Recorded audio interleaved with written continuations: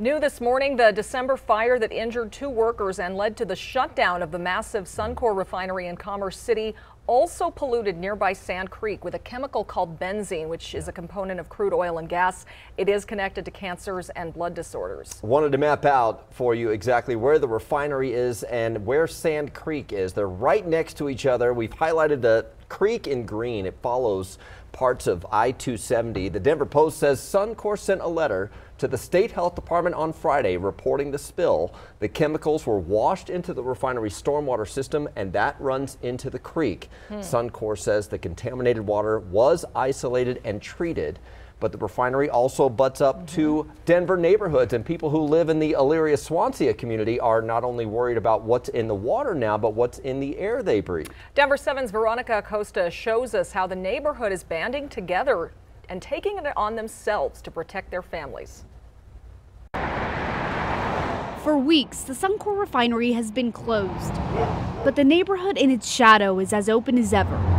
People driving to work, living their everyday lives, taking in a breath of air. We're breathing it in. Breathing this in, whether good or bad, is the reason Olga Gonzalez and a group of other women in the Elyria Swansea neighborhood got these air quality monitors. It'll tell us at what point we should be concerned and maybe decide to stay indoors and not have our children play outside. It's telling us at what level, and, it, and our um, data will tell us at what level is it of concern to people who have compromised immune system or children or anyone in general. It's a very complex monitor and inside are instruments that are measuring on a continuous basis what is in the air. So things like benzene and particulate matter.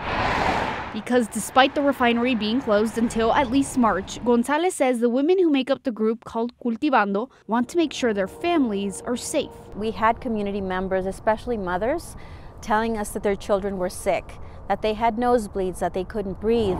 By making sure they're able to pick up on anything that might be harmful and so their kids can be here without concern.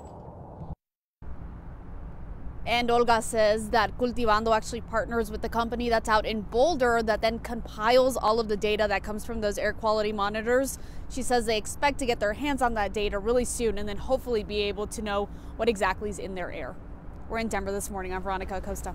Denver. I'm sure they will be going through that very carefully, Veronica, and, and this helps explain the concern as well. Air pollution is impacting babies even before they're born. A study from CU Boulder found infants scored lower on cognition, motor, and language tests if their moms were exposed to higher levels of air pollution towards the middle and end of their pregnancies.